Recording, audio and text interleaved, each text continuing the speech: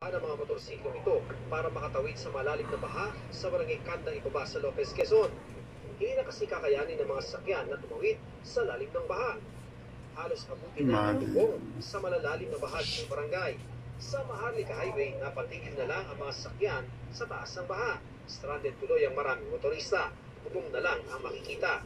Kaya mga bangka ang nagsilbing alternatibo. Ang iba naman, sumakay sa airbed. Ang gutom, diniskartehan ng pagdadala ng sariling lutuan. Ang lakas kaya ng agos oh.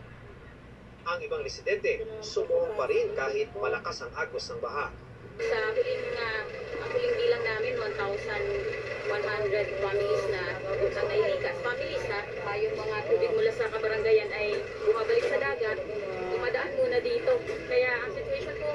unpassable to all types of vehicle po ang ating uh, Maharlika Highway.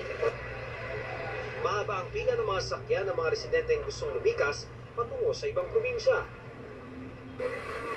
Ganyan din ang sitwasyon sa bayan ng Kalawag. Kabilang ang barangay Salvacion kung saan 80 bahay ang nananatiling lubog sa baha. Ayon sa kapitan ng barangay, 246 na pamilya ang apektado. Napinsala rin ang mga palayan na hanap buhay pa man din ang karamihan sa mga residente. Nananawagan ang mga apektado lalo't wala raw silang evacuation center dahil nasira rin ito noong nakaraang bagyo. Binahari ng bayan ng Katanawan. Hindi na kasi kakayanin ng maliliit na sasakyan ang baha sa National Highway. Sa gitna ng baha, tatlong bagong panganak na sanggol at iba pang pasyente ang nasagip mula sa isang maternity lying-in clinic. Baha at landslide naman ang naranasan sa Ginyangan. Abot bewang ang baha sa ilang kalsada. Hindi naman madaanan ang bahagi ng Hibombulu West dahil sa landslide.